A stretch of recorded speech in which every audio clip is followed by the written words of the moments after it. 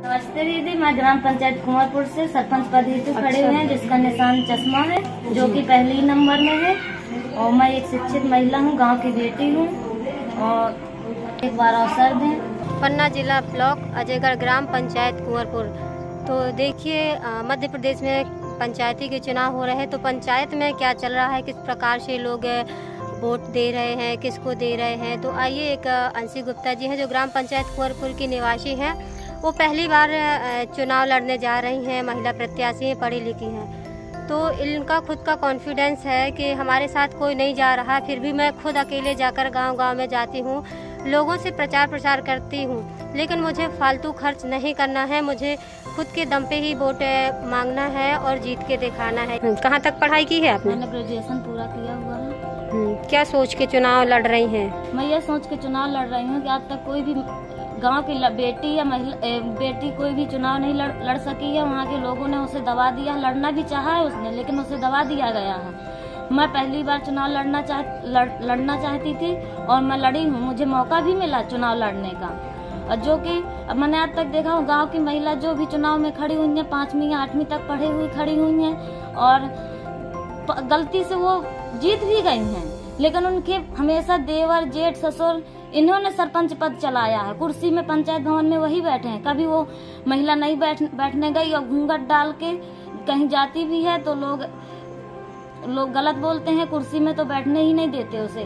वो नाम की सरपंच रह जाती हैं। बाकी उनके पति देवर जेठ ही चलाते हैं।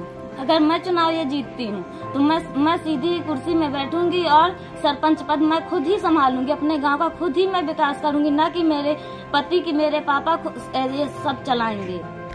इसके पहले और भी कभी आपने चुनाव लड़ा है या इच्छा हुई? नहीं इसके पहले कभी चुनाव मैंने नहीं लड़ा है क्योंकि पहली बार ही अच्छा पे काट रही तो पहली बार मौका भी मिल गया तो मैंने फॉर्म डाल दिया। हम्म, क्या आपको किसी ने कहा है कि आप चुनाव लड़ो या फिर खुद से? ही नहीं ये मेरी खुद की इच्छा है मैं खुद ही चुनाव लड़ना चाहती थी चुनाव चिन्ह क्या है आपका? चुनाव चिन्ह मेरा चश्मा है पहले ही नंबर है। हम्म, क्या करना चाहती हैं चुनाव में अगर जीत गई? अगर जीत गई तो गाँव का विकास करना चाहिए, जैसे कि वहाँ पानी की बहुत कमी है, लोग पानी बहुत दूर दूर से लाते हैं, नल नहीं सक्सेस हो पा रहे हैं, लाइट की दिक्कत बनी ही रहती है। कई ग्राम पंचायतों की कई कमियाँ हैं ऐसी जो सुनाते रहते हैं, बताते हैं, रोड, सड़क भी नहीं सही बन पा रही हैं वहाँ की।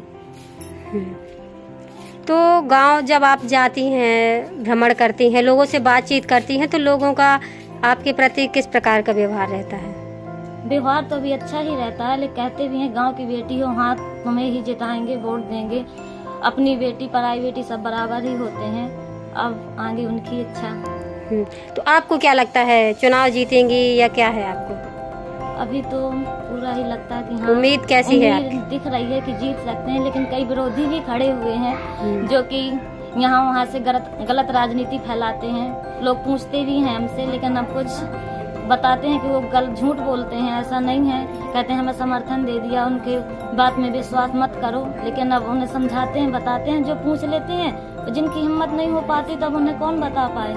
और जो बुज़ुर्ग लोग हैं, वो हमेशा से प्रधान बने हुए हैं। अपनी महिलाओं को भी उनने खड़ा किया। गाँव की कोई भी लड़की प्रधान नहीं बन पाई। ये सब सोच के मैंने कहा कि अगर मैं ये कदम उठाऊँगी तो आगे चल के हर लड़की कदम ये उठाएगी। डरेगी नहीं अपने घर में, न परिवार में, न ग्राम पंचायत से। निर्भय होके अपना मत दे सकती है और चुनाव में खड़ी हो सकती है। खबर लहरिया, आपकी खबर, आपकी भाषा।